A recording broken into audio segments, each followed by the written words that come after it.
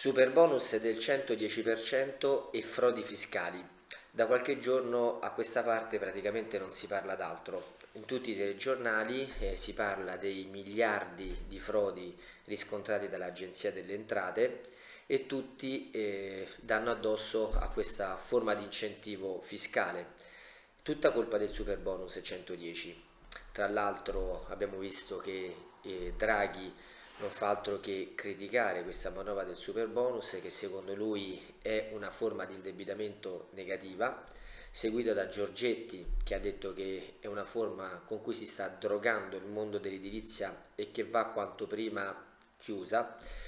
Questo ha portato a una forma, eh, diciamo così, di critica generale e, e di sospetto diffuso da parte di tutti nei confronti del super bonus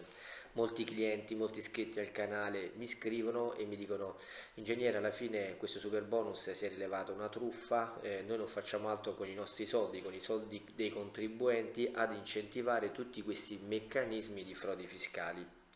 Ora la domanda che io mi sono posto è ma i numeri sostengono veramente queste tesi, cioè veramente il super bonus è il male di tutti i mali?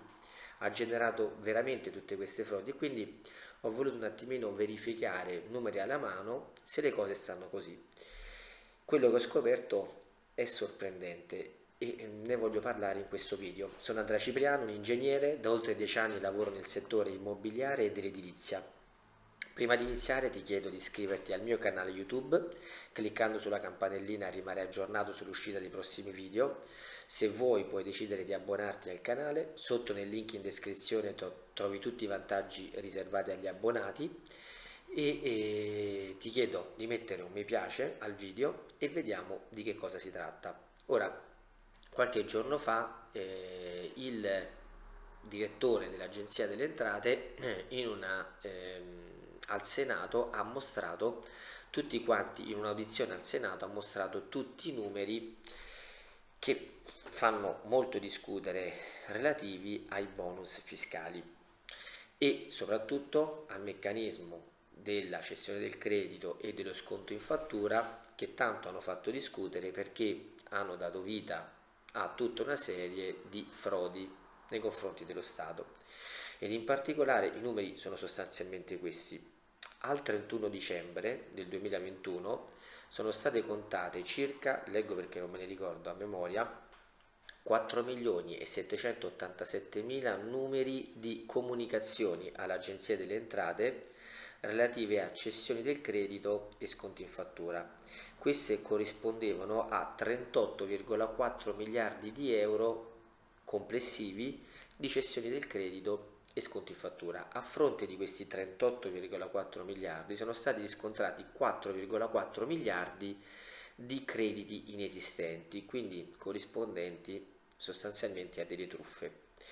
Ora i mass media hanno subito fatto l'associazione crediti fittizi, frodi fiscali relativi al mondo dell'edilizia uguale super bonus 110, ma io mi sono chiesto ma questi bonus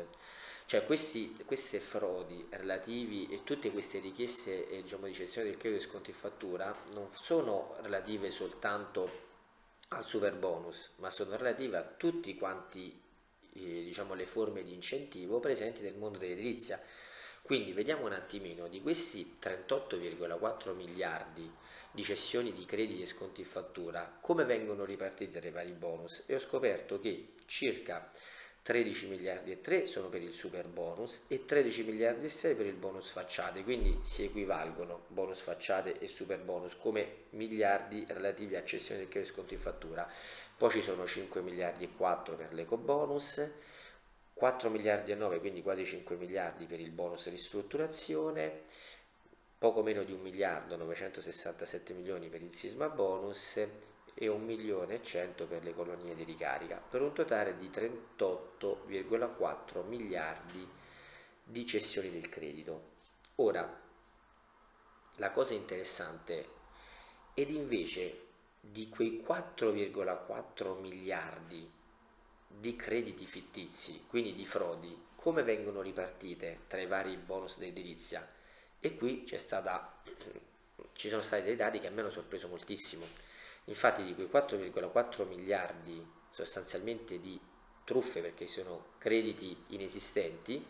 il 46% sono riconducibili al bonus facciate, quindi quasi uno su due, quasi il 50%, il 34% all'eco bonus, il 9% al bonus affitti, l'8% al sisma bonus e il 3% al super bonus 110%. Quindi la manovra che viene tanto criticata e che viene tanto diciamo messa all'attenzione quando si parla di frodi fiscali è il super bonus, quando le diciamo illegalità, i crediti fittizi, i crediti inesistenti generati con i bonus edilizia sono riconducibili al super bonus solo per il 3%, ma d'altra parte questa cosa anche da, diciamo, da, dagli addetti ai lavori erano dati abbastanza scontati perché? Perché il super bonus 110%, soprattutto in questa fase, è un tipo di incentivo molto attenzionato e sottoposto a dei vincoli molto stringenti, per cui è molto complicato generare delle frodi. Il fatto che il 46% di eh, diciamo, quelle frodi siano riconducibili al bonus facciate è una cosa scontata. Cioè il bonus facciate ricordo che era un bonus che era nato come con le migliori intenzioni, cioè quello di riqualificare l'aspetto esteriore degli, diciamo, di quegli edifici, le facciate di quegli edifici posti in zone di particolare interesse, le zone A e B, quindi centro storico e le zone fortemente ristrutturate, delle, fortemente urbanizzate delle città. Però il bonus facciate quando è nato, aveva due grossi limiti che si sapeva avrebbero generato tutte queste frodi. Quali erano questi limiti? Innanzitutto non era previsto un tetto massimo di spesa, per cui si potevano incentivare interventi di altissima, diciamo, sforando i prezzi, e poi non erano previste delle asseverazioni di congruità delle spese, cioè non c'era un tecnico che doveva, che doveva alla fine dei lavori asseverare e dire sì, le somme che sono, eh, per cui si beneficia, che vengono portate in detrazione o per cui si beneficia eh, degli incentivi statali sono effettivamente congruenti con gli, interventi sotto, con gli interventi eseguiti. Ma da questo punto di vista dobbiamo dire che il legislatore, a partire da, quel, diciamo, da questa uscita un po' disgraziata di questa legge, ha posto ora dei correttivi. Quali sono? Allora, innanzitutto con il decreto antifrode, il 157 del 2021, è stato stabilito che per il bonus facciate è necessaria l'asseverazione di congruità delle spese, quindi quando si accede al bonus facciate è necessario che un tecnico asseveri e dica sì, quello che si sta portando in detrazione, diciamo quello che si vuole incentivare effettivamente è congruo con l'intervento eseguito e poi il bonus facciate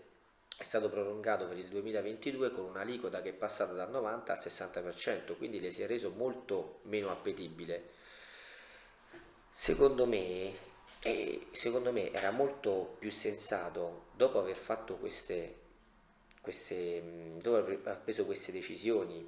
e emanate queste leggi, aspettare almeno uno o due trimestri per vedere che tipo di risultati avevano queste iniziative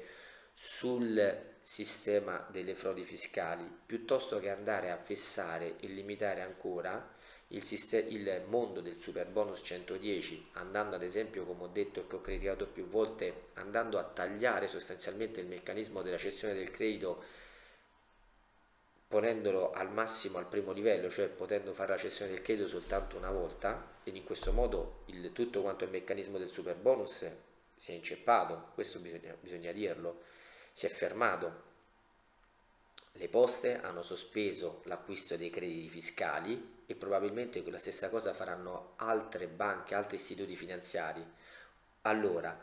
prima di bloccare un meccanismo come quello del super bonus che aveva dato grossa linfa a tutto quanto il mondo dell'edilizia, perché non si è cercato di verificare se le iniziative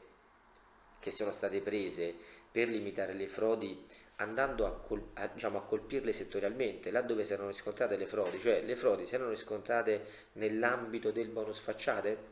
erano stati fatti dei correttivi al bonus facciate? Sì. Allora aspettiamo i, che, eh, aspettiamo i risultati di queste azioni mirate a limitare le frodi con il bonus facciate e poi semmai cerchiamo di attuare altri correttivi anche agli altri incentivi fiscali. Perché andare ad additare e andare a colpire per forza il super bonus Se abbiamo visto il sistema delle frodi colpisce il super, diciamo, relativa al super bonus è appena del 3%, allora è perché si vuole colpire il super bonus. Allora la politica ci deve dire in maniera molto chiara che le casse dello Stato non possono sostenere il meccanismo del super bonus, è stato un gioco, non lo potevamo fare e lo chiudiamo qui, però è inutile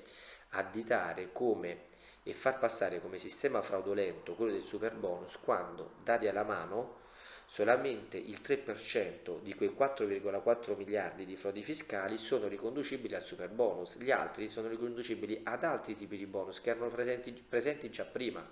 bonus facciate, bonus ristrutturazioni, eco bonus ordinario e così via. Ora speriamo che il legislatore riveda un pochino alcune decisioni faccia qualche passo indietro per poter far ripartire nuovamente